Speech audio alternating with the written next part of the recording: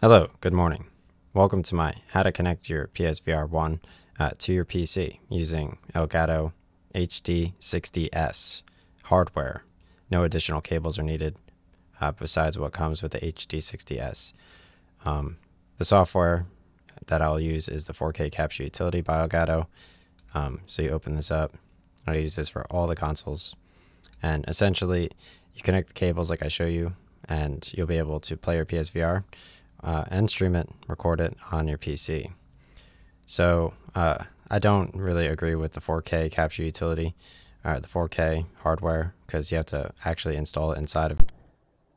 Hey, welcome to my uh, PSVR video. So I'll go over all of the USBs in the PS4. So the PSVR and PSVR 2 uh, work on PS4 and PS5.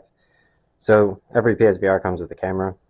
Um, you put it on top of your TV, and at eye level or monitor, and you stand uh, four to eight feet back. So in the front of the PS4, you have a USB here, uh, and then in the back, you have two over there. It's very simple. So here's the PSVR box.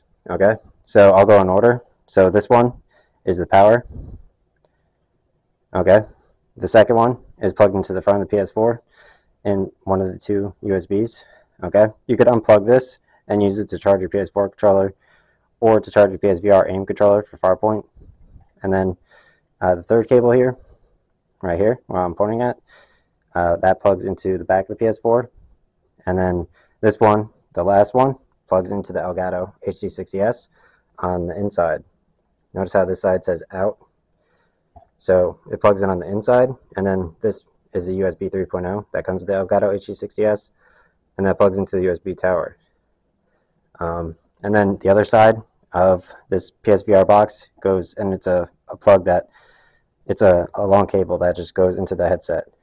Okay, so you may need to like slide this and then slide it back in order to get the cables.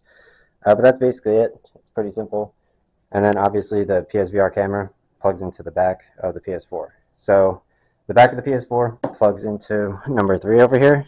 Uh, number four over here plugs into the Elgato on the inside and you don't put anything on the outside.